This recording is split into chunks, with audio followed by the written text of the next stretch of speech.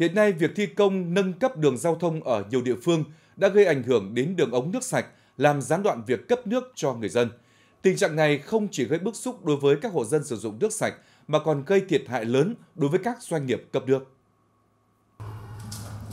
Mỗi khi địa phương làm đường, các hộ dân sử dụng nước sạch ở xã Nhân La, huyện Kim Động lại phải sống chung với cảnh hôm có nước, hôm không. Nguyên nhân mất nước chủ yếu do đơn vị thi công đường làm vỡ đường ống dẫn nước. Điều đáng nói là những sự cố này xảy ra rất thường xuyên.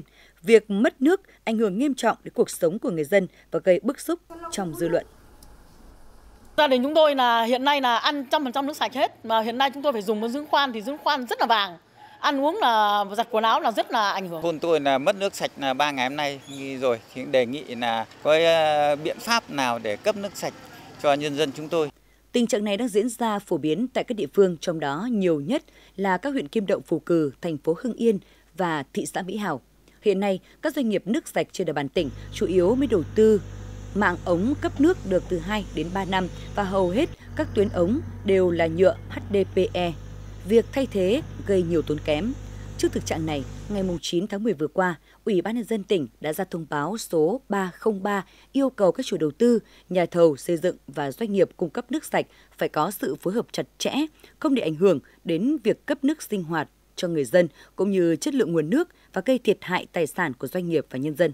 Tuy nhiên, thực tế việc triển khai quy định này còn nhiều khó khăn.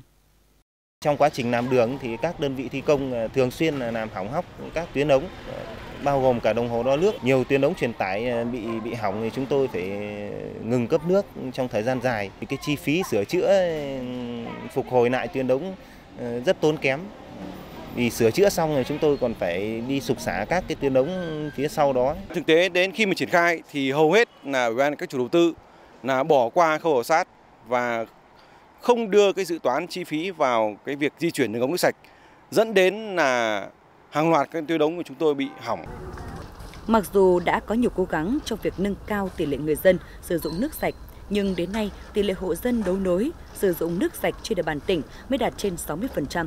Lĩnh vực nước sạch nông thôn chưa được các doanh nghiệp mặn mà đầu tư vì cần khá nhiều vốn. Việc phải bỏ ra kinh phí lớn đầu tư các đường ống nước sạch nhưng vừa đưa vào khai thác đã phải sửa chữa thay thế, gây tốn kém và bức xúc đối với các doanh nghiệp cấp nước.